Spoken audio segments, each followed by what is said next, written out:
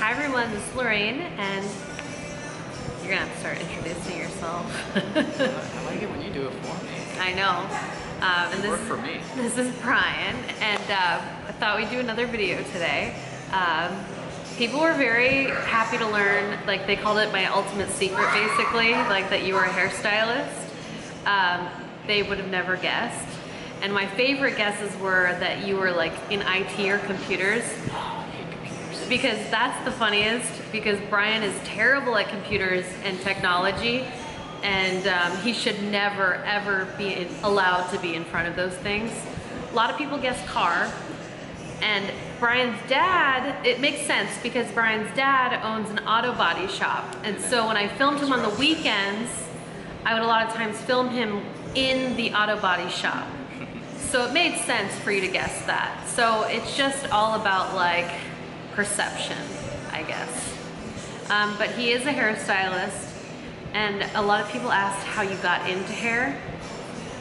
Truthfully, Yeah, you they give you the honest truth. honest truth is mainly my parents. 'cause They owned a construction company. They actually designed several salons in town here, Sarasota, and just helping him, being around the industry and the people. They're always happy and having fun and indoors and it's exciting.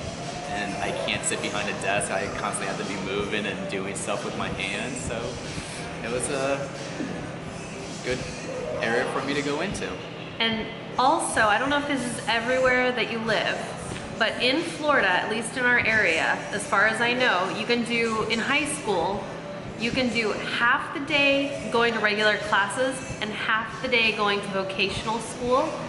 And so then you're still in high school and you can get your cosmetology degree. So that is what he did. I just got elected, so I didn't do PE, art, or anything like that, but I still had to do the standard math, English stuff. Yeah, so I think like I think that that's like kind of a great thing.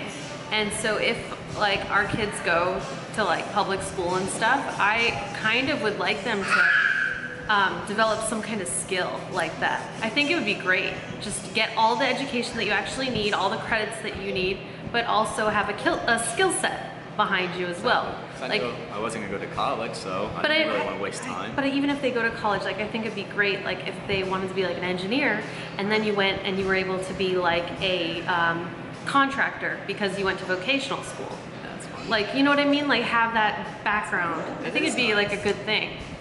Um, so Brian went just straight out of high school, straight out of high school, and became a hairstylist. And he, the nice thing about Brian is he's not like, you obviously see he's not a flashy person. He's not a, um, what's the word I'm looking for? Um, you're confident, but you're not full of yourself. Yeah, you don't have what is that? What, like he doesn't have a big ego. Yeah. Like you, you don't necessarily. So when he got out of hair school, he wasn't like, "Hey, I'm the best. I need to be working immediately." Like. Um, as a stylist because I'm that great. He worked as an assistant first. Um, and so, but he worked as an assistant at a very high-end, well-known salon in Sarasota too.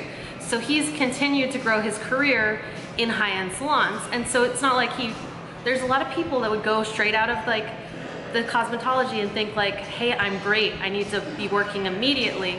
But he went the right route. And I think that that is a good example for other people is if you are going to cosmetology or school and you want to continue on the path to greatness, even if you think you're already great, you should work under someone that you you can um, uh, look up to and they're your mentor and everything. And so I think that like Brian had a really good mentor to begin with, right? That first year of assisting was miserable, but I assisted both the owners every other day, whatever, because they worked separate days and stuff, and I learned everything that I could from them. I still see them around town, still see them at events and everything, so it's awesome. List that I work for, they're awesome. They all have their highs and their lows in certain things. I have my lows in some things. I'm not perfect.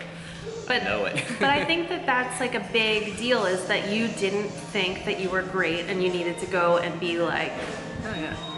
I'm still learning today. and that's like an important thing with a hairstylist is to continue your education even when you are um, done with hair school. It's not done. So there's different things in this industry like um, learning, but it's necessary. Like you probably learned most of the stuff that you know from like basics, like from what you. Yes and no. But don't you think like a lot of times it's like revamping, like Of like classes? like like or just in general. Just kind of like everything. It's either you have it or you don't, honestly. Because there's this one girl that I knew, she went to all these like high classes at the Dell Setsu, paid thousands and thousands, and she still couldn't cut a straight line. Yeah, so it is, It's but it's, but like you being an assistant initially is learning experience in Yeah, itself learning, too. But so you you, still have to have you have to have the gift. It's it's like either like well what if you were to say like your specialty like he does men, women, children, he does everything. Um, but like your your specialty I think is like cutting. yeah, Like he's shorter haircuts. he's so good at cutting. Like it's impressive to watch him cut because um, I don't know. He's just really good at it. He's really good at cutting. What was that one cut? That Victoria Beckham cut, like back in the day. Oh, the, I- the like Yeah, that stacked angle. I that was my largest clientele built base was off of that because I had it like perfect, and even all those clients today, I still cut, but different styles and everything. But it was that one cut. that like got you a lot of clientele in Sarasota because you were able to get that cut. That's That stacking, I guess, in the back would be like if you didn't get it right. I've seen a lot of bad haircuts with that. It's tough, but I built a huge clientele off of that cut. But I thought I'd like give that little bit of information for Brian. Um, and if you want to ask more in, in questions, then he'll be more than uh, happy to ask. I've done like a couple Instagram stories, and like people were like so happy to hear you talk. Um, Not quite. You just have to ask the right question. Like that's honestly all it is. Like if I ask him a question and I don't ask the right thing, he won't answer it. But if you ask him the right question, he'll go into depth, like just a little bit more. and then if you can give him a follow-up question, he'll go into it a little bit more. So it's all about asking Brian the right question. And if you want anything done to her hair, let me know. Yeah, we're gonna do some videos of him doing things to my hair, um, probably the boys' hair too, because um, School. easy modeling and everything. Like when he go, when Graham goes to school, you can see how he cuts his hair and everything. Um, products that he uses, things like that. Um, and then what else was I gonna say? Um, that's it about that for now. If anyone like has any questions about that. But then um, another question that we got asked a lot was if that is the working in hair is how we met, and it kind of is Pretty much it is. but he wasn't my stylist at the time. I he his, my stylist at the time was a good friend of his um, Worked at the same salon. at the same salon, and um, and uh, I ended up going through a breakup, and uh, he invited me over to his house, and then uh, Brian was good friends with his partner as well. So then they were gonna go out and go to like Ybor City. Do people still go to Ybor City? Oh, yeah. Um, I, and so they are like, oh, come with us to Ybor. And that's how we met. Well, it's not that we met. We still saw each other in between, but that's how we like officially started like seeing Dating, I each other. I had seen him like previous to that for a long time. Down at the bars.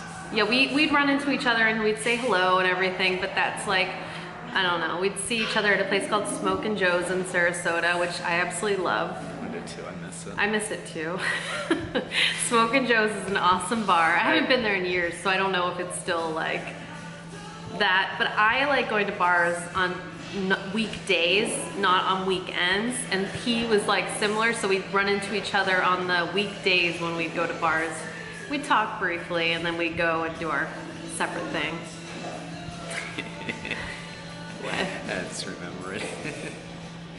Good times. Yeah, yeah. What else, Brian? What else should we add? I have no idea. I'm not good at talking. I know it's I have to ask him the right question. But I've had a lot of people ask about a products and they've asked about so I've got to do a whole video on products. So just if you can put the questions all in one spot, that's great. So post them below. Um, but yeah, he gave me a little bit of a, a glaze the other day, and basically a glaze is a toner. I kept seeing everything on the internet about glossing, And I guess like when you do glossing, you don't use ammonia, but ammonia is like make it hold better. So um, I don't know. I need a little fresh freshen up. I haven't. I had my hair colored probably two or three weeks ago. Highlights. Um, and so it's just like a little like freshening up little thing to get the glaze, and it turned out really nice. We just have hard water here, so it just turns so yellow with so much chlorine that we have. Yeah. But other than that, So I don't know. I kind of want to go back to like the old days where I just like did a solid hair color. So I like to I like to mess with Brian, make it like difficult for him. Back, so we're gonna end this video. Goodbye. bye.